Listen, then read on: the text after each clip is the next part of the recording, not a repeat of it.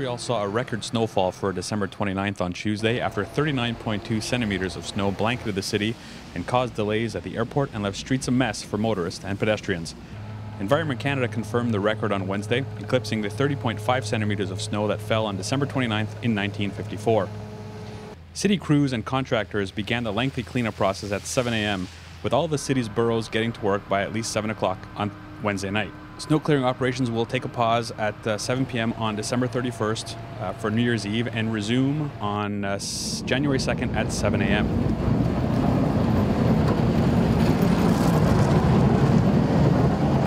The City of Montreal has to clear up to 10,000 kilometers of streets and has 3,000 employees and 2,200 pieces of equipment available for the operation. To make things easier, the city is asking for the public's cooperation when it comes to parking restrictions to help facilitate snow clearing operations.